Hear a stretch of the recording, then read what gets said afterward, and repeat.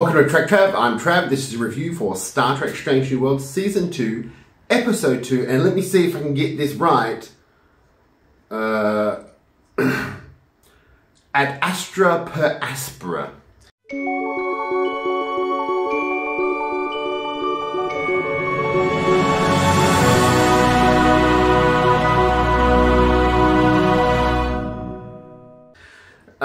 If you have not seen the episode, make sure to go and watch the episode and come back. I don't do an episode recap. I'm just talking about my thoughts on the episode, uh, which was really, really good. And I know this review is a bit late, and I'd like it if you'd like, comment, subscribe, share it around if you like.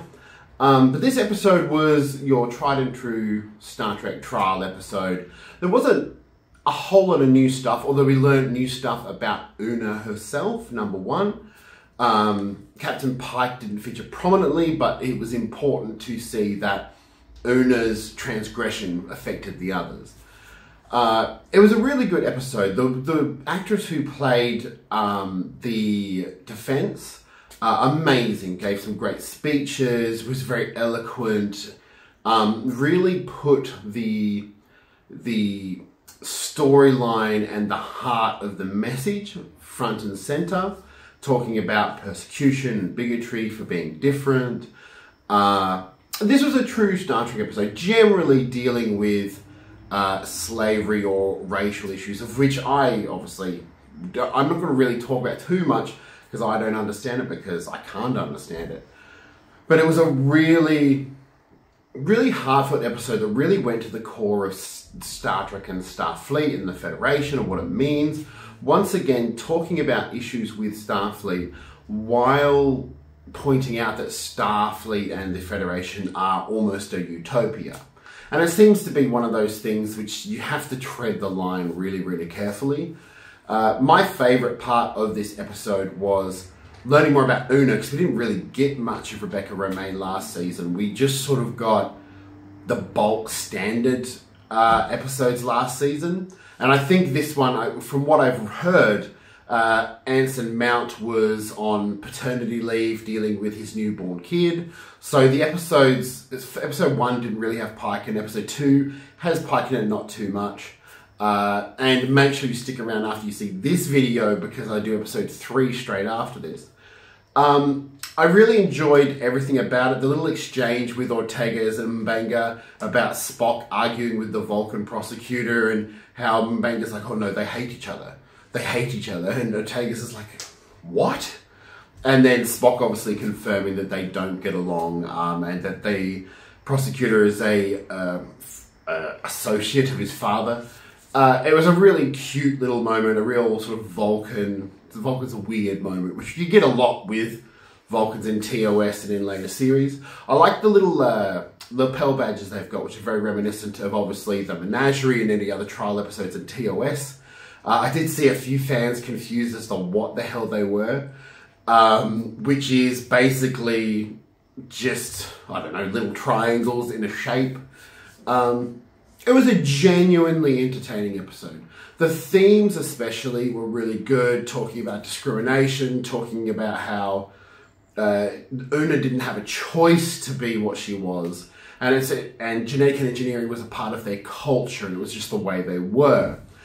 And it's interesting that they placed obviously an African American or an African Canadian woman in the role of the defense, and then obviously Una as a white woman in that position because it, it takes away the directness of it, uh, which I you can argue that there's a, lot of the best episodes of Star Trek deal with things head on, I feel, but this took it as a look, this woman outwardly is beautiful and no different than anyone else, but she's different on the inside, and it's something she can't change, and it's something that's a part of her.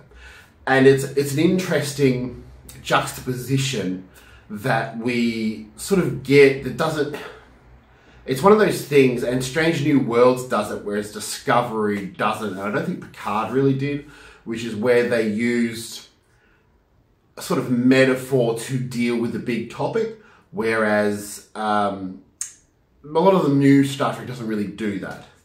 My uh, my enjoyment of this episode was tempered by the fact that I did feel with episode one It was very much a continuation of season one, and it's the same with uh, this episode. It feels a little bit like, oh, we're just sort of in the middle of a season.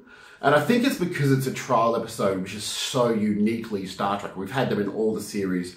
It's a very pointed thing, but it does give a sense of we have done this before. There are certain tropes that have been done, even the topics being discussed within the trial, and the way that um, the the defense is shown to be amazingly logical and passionate about fighting for Illyrians to be treated fairly within the Federation and within Starfleet.